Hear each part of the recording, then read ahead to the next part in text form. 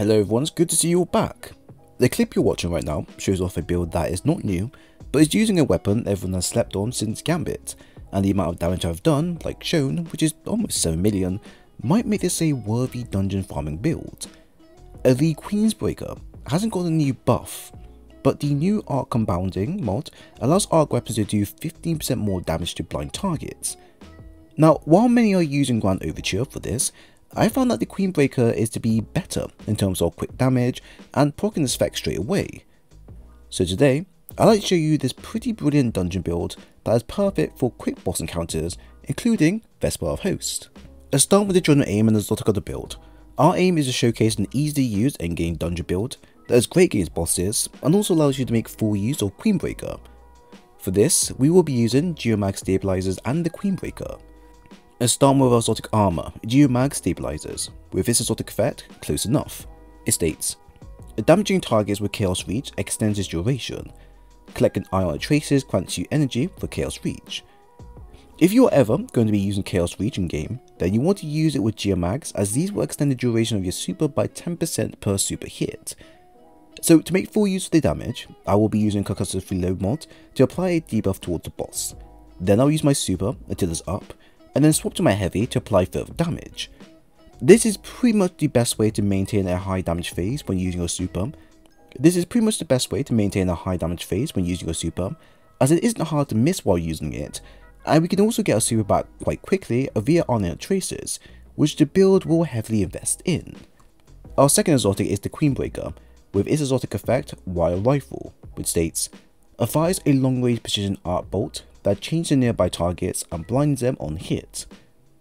The weapon naturally can apply blind onto targets by general hits, which works out really well when using the arc compounding mod.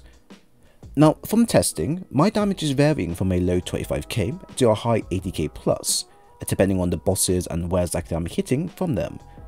Against the Ogre and Meatball boss in Warlord's Ruin, I was getting a good 80k plus with them via headshots only, and this was quite easy to maintain since they have a huge area to hit.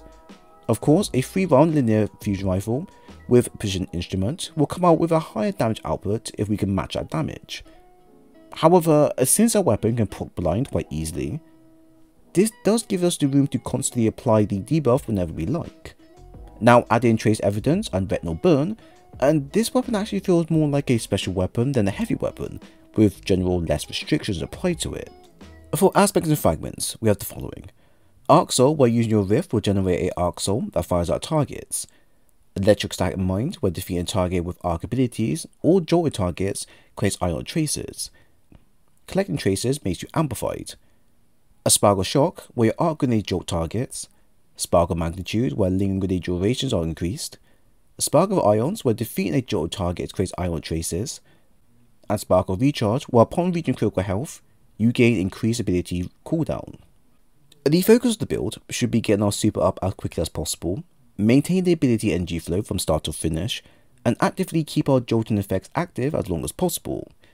Now since the build focuses around boss damage and maximizing Queensbreaker and Geomag combo, you really don't have a lot to worry about in terms of expanding the current options. A Chaos Reach is already pretty good, and with Geomag on hand, you can extend its effects for longer, which is amazing against dungeon bosses. Now combine this with Queenbreaker and Arc Compounding mod, and you'll pretty much get 70% of the build down and over with. Our arc fragments are also in a relatively safe spot as you don't need to enhance your weapon's strength anymore. Instead, we will use the fragments to reduce the cooldown rate and make our grenades, melee accessibility, even more active as possible. If by chance you want to, say, lean more into the arc blinding effect, then you could swap out Recharge for Spark of Beacon instead for the active blind effect. Now, combine that with Indebted Kindness and some Ammo Reserves mod, and you'll maintain a very powerful ad clearing and boss damage weapon for both secondary and heavy use. That's one change I would do next, and you'll probably see me do it in the near future, but that's one way I would go about it.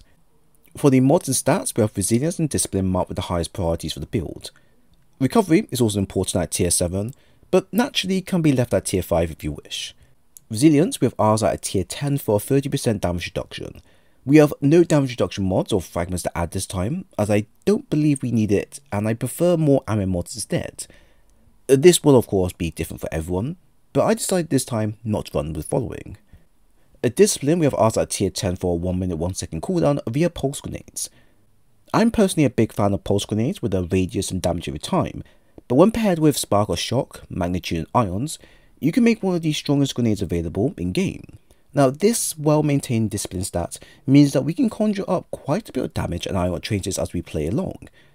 Something like this is useful as any ion traces gotten will grant us a 2% super regen via Geomag Exotic effect, which may be small, but is still worth the investment. Now cooldown is high, but is maintainable. So the rest of the stats, you should either use the following. Impact Induction times 1 for a 12% grenade buff. Momentum Transfer times 1 for a 12% melee buff. Bolstering Detonation times 1 for a 12% class ability buff. And Distribution times 1 for a 3% all ability buff. Now the additional mods, we now have the following. Harmonic Siphon for creating orbs of power via matching elemental weapons. Ashes to assets for gaining super energy via grenade kills. Heavy Ammo Finder reserves and scavenger mods for a heavy weapon, charged up for a plus 1 in armor charge, arc weapon surge for a 10% arc weapon buff, elemental charge where collecting elemental pickers will grant you armor charge, and powerful attraction for automatically clicking orbs of power when using your class ability. Should be everything you'll need. Now, as we have covered our Exotic Heavy Weapon, I would then advise you to pick some super weapons for the build. What I recommend are all optional, so please keep this in mind. Our secondary is the Lost Signal with auto-load holster and Vorpal Weapon. I've updated the following to have auto-load holster instead of lead from gold, as I felt the weapon is good with the current ammo it has. Now combining this with concussive reload has proven to be the best option for on and off weapon to use, to quickly deal with tough enemies with an Vinicity. I found this to be quite powerful when combined with Queenbreaker, as sometimes we won't always have the option to land our hits perfectly while under fire. Using this with our super allows us to make peace with not worrying about missing opportunities, as one quick hit is enough from this weapon alone. A primary, we have the Tarnished Mettle with 4th time to charm and Volt Shot. A great weapon to use for this season's mod and interaction with the Arc subclass, I would expect the majority of players to also have a similar role like shown. It has great coverage against all enemies, can proc Jolt which interacts with Retinal Burn and Trace Evidence, and works wonders against all three champion types. Unfortunately, the only way to get in now is through Xur.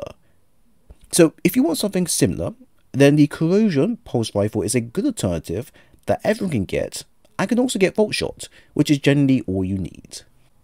So it has been a very long time since we have used Queenbreaker in anything outside of Gambit, and while the provided build does expand its usage even more now with thanks to the given mod, I do not see this lasting very long unfortunately.